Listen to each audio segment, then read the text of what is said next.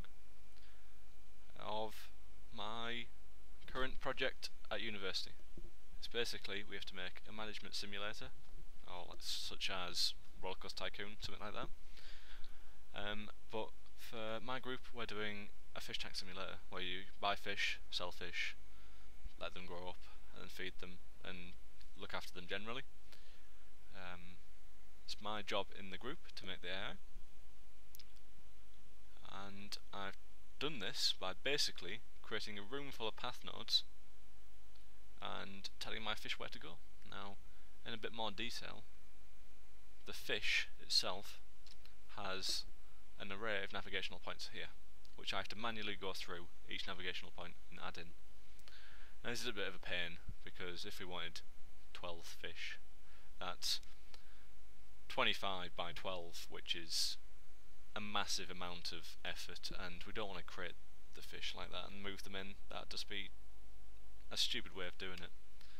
But if I jump into the game, basically, the fish will run through a few functions and it'll go through path nodes and it'll just swim through. At the moment it's only got eight path nodes going, which are the bottom bottom row of the 3x3x3 grid of path nodes. Oops, I'm drowning. And it'll just float between them and whatever. Now, if I was to add a new fish in, like so, and play again, this fish will just sit here and it won't move and it'll eventually float to the bottom. Sit still. There you go, you can see it floating. So that's bad. If I, now if I delete this fish, and if I was to create a new one by copying it and play, they'll they'll both happily go off and do whatever they like and swim between the nodes. Well, this is this is this is a major problem because if I want to do this dynamically, like spawn the fish and when you press a button, like press number 7 and you spawn fish type 7 into the tank, then you can come up with some major problems where the fish might not have path nodes, or you could do it another way where you have a set tank hidden from the game, and when you press 7 you just pull fish number 7 uh, array member 2 and put them in the tank. But it's not, it's not what we want to do because that's just a lot of hassle, to be honest. But at the moment, basically, each each fish has an array of navigational points, and from the editor because of this double brackets here. And when the fish is created, it checks if it's got a controller, and if it doesn't, it'll spawn an AI class and set the pawn and set pawn is in the fish AI um, sets up a few variables it then possesses the fish pawn with this AI what?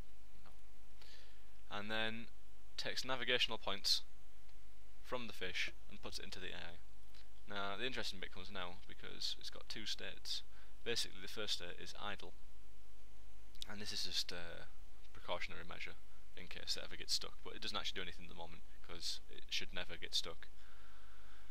But the following path basically chooses a random number and assigns this to actual node. An actual node is going to be the next path node you're going to travel to. It then sets move target to be the navigation point of in the array which corresponds to the random number which is actual node. So it could be my navigational point, square brackets, 3 for example. It then calls the function move toward which moves the fish towards that target of move target.